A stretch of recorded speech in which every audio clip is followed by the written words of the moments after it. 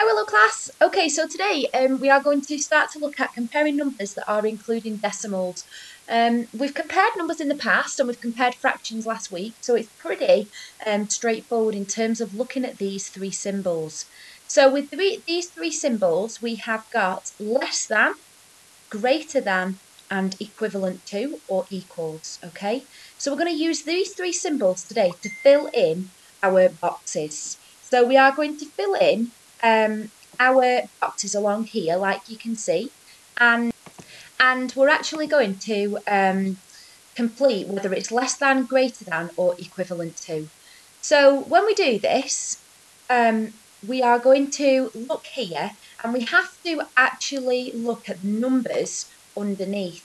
Um, so for example, this one, I've got 33.6 and this one I've got 33.5. So we always know that we start with the most significant number. So here, uh, in my tens and in my units column, I've got, eh, sorry, in my tens and in my tens column, I've got a 3. Okay, so they are both the same, so there's no actual difference between that. So then I move on to the next most significant number. In my units column, I've got a 3, and in this units column, I've also got a 3. So um, again, they have the same value, 33 and 33. So I move on then to my next most significant number. My next one here, in my 10th column is a 6, and in this 10th column is a 5. So which one of those is smaller? Is it the 6 or is it the 5? Now we know that 5 tenths is smaller than 6 tenths. Therefore, I have to use um, my greater than symbol, which is this one okay? And that's because 33.6 is greater than 33.5. If you remember, this little symbol, it points to the smallest number, okay? So the smallest part here is on the smallest number and the largest part of the arrow is on the largest number, okay? So that's just a starter for you guys.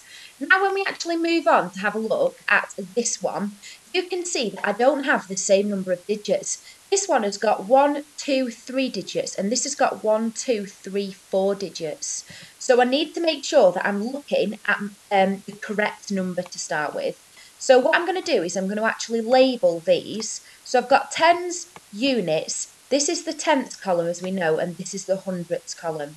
And I'm going to do the same, my decimal points there. So this is my units, this is my tens column, and then this is my tenths.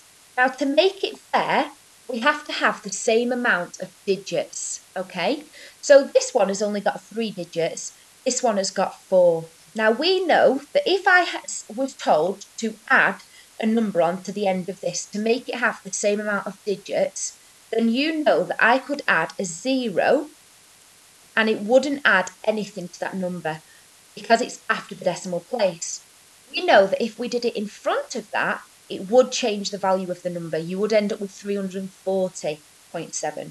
So we have to do it here at the end in the hundredths column so that I just have no hundredths, but at least it's fair for me to compare with this.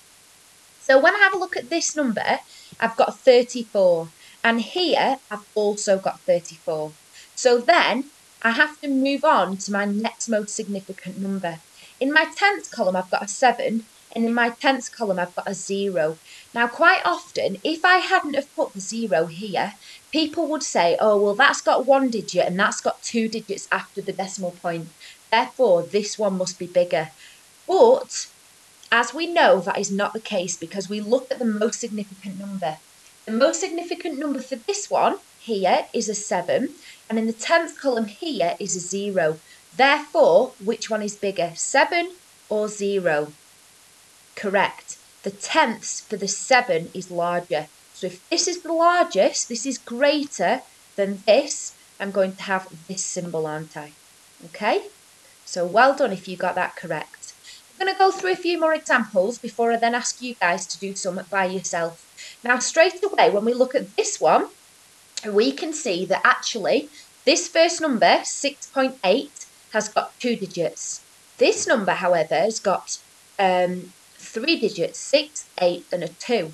So I'm going to label these. Sometimes you might feel like you don't need to do this, but quite often it helps me, so I'm going to do it. So this is my units column. Then I have my decimal point, and then after my units, I've got tenths, and then I've got hundredths. Okay? So, don't forget, this has only got two digits, and this has got three. So how can I make it fair? The way I'm going to make it fair, if it's a decimal, is by adding a zero to make sure that I've got three digits like I do here. So we're going to start then with our most significant number, 6. Oh, and this is a 6 the same. So I need to then move on to my next most significant number, which is my tenths. So I've got 8 tenths here, and here I've got 8 tenths as well. So then I have to move on to my next. Now if I didn't have this here, I'd think, oh, well I can't do anything here, and I might get a little bit confused. So that's why I've made sure I've got this in place. So I have no hundredths, and here I've got two hundredths. So which is largest, 6.8 or 6.82? Is the 0 larger or is the 2 larger? Well done, we know that 2 hundredths is larger. Therefore, my arrow points this way to my smallest number. So 6.8 is less than 6.82. Okay?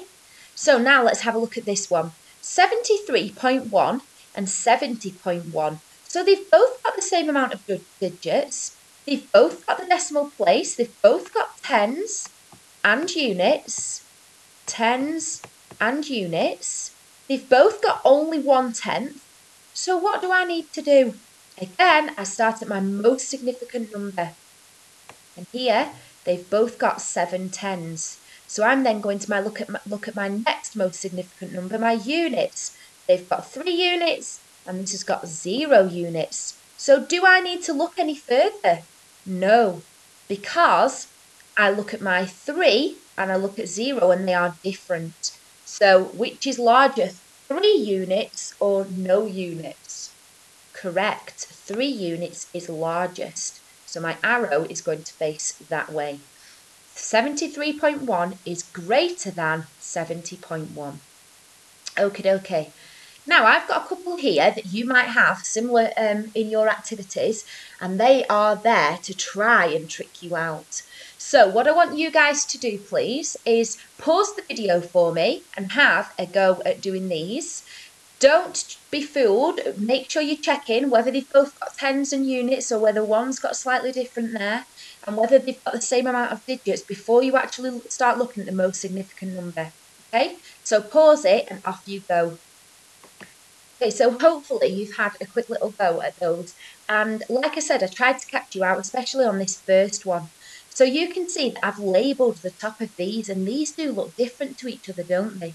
And the way they look different is because I've got, oops, I've got units here, and then my decimal point, and then I've got tenths and hundredths. And then on this one, I've got tens and units, and then tenths. So 7.57, 75.7. So already, if I had my tens here, I've not got any tens, but this one has got seven tens. So straight away, without doing anything, I can see that this is larger than this. So, which symbol did you put in the middle?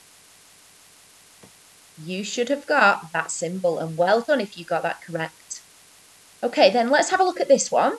So I've got 35.07, and then I've got 35.072.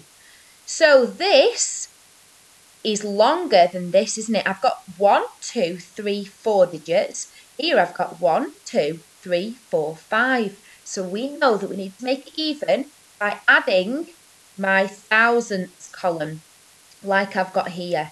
So if I add my thousandths just there, squeeze it in, you can see now that I've got 35.070, 35.072. So this was why I was trying to trick you out because all of this is the same, isn't it? All of that is the same. So I can't actually compare it because they are equal. However, then I look at my thousandths column and I've got two thousandths here. And then I look at this thousandths column, which I did add on, which I asked you guys to do, and I've got zero. So hopefully you know that the two thousandths is larger than the zero and therefore my arrow is going to go this way. If you got that correct, very, very well done. Just make sure that you've got that visible so that I can see how you've worked it out. Okay? So your objective today is to compare numbers including decimals. It is decimals that we are comparing, okay? Um, it's um, a really, really nice activity that you guys are going to be doing today. And I'm really looking forward to seeing how you get on with this because tomorrow we're then going to actually be ordering numbers. So we need to get this perfect before we can move on to do that tomorrow. Okay, so good luck everybody with your learning today.